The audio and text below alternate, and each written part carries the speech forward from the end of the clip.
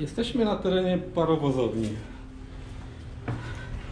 Parowozownia powstała w 1902. Według dokumentów schron, do którego właśnie weszliśmy, powstał w roku 1900. Wygląda to raczej słabo. Te pomieszczenia,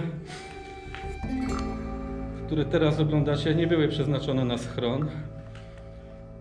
Chociaż z pewnością mogły, mogli się tutaj schować, schronić ludzie. Natomiast pomieszczenia schronowe de facto znajdowały się tutaj, gdzie znajdują się jeszcze drzwi drzwi metalowe z wizjerem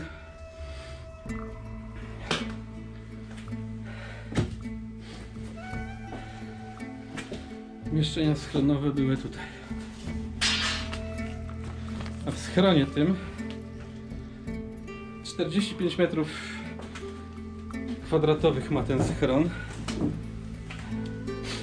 Mogło się pomieścić, tutaj znowu są dwie dane różne. Ktoś, kto liczył najpierw uważał, że mogło, może się tutaj pomieścić 75 osób, a później przeliczył sobie metraż i wyszło mu, że może się już mieścić 65 osób. Te drzwi też należały do, e, do schronu. Natomiast jak widać piwnice są bardzo duże i mogły być oczywiście wykorzystywane jako pomieszczenia schronowe, co daje, że e, o, o, powiększono liczbę osób, w sensie, że do, w tamtych pomieszczeniach mogło być 65, udostępniając piwnice i inne pomieszczenia z pewnością mogło się tutaj zmieścić kilkaset osób.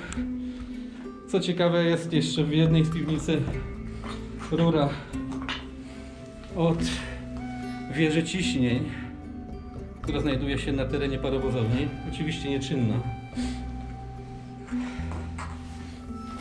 Ale jest.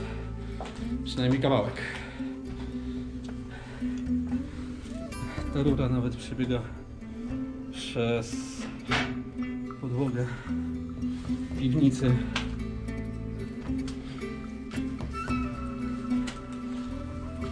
I tutaj mamy wyjście ewakuacyjne lub też wejście do schronu od drugiej strony budynku. Tu jest pomieszczenie dosyć ciekawe, które jest wyłożone kaflami. Więc prawdopodobnie było tutaj coś związane czy też z wodą, czy też z, e, z kuchnią, ponieważ na górze znajdowała się stołówka bufet. Więc część pomieszczeń było przeznaczonych i to na magazyny i na magazyny żywności. Również w niektórych pomieszczeniach było archiwum. W sumie miejsce ciekawe, biorąc pod uwagę lata tego budynku.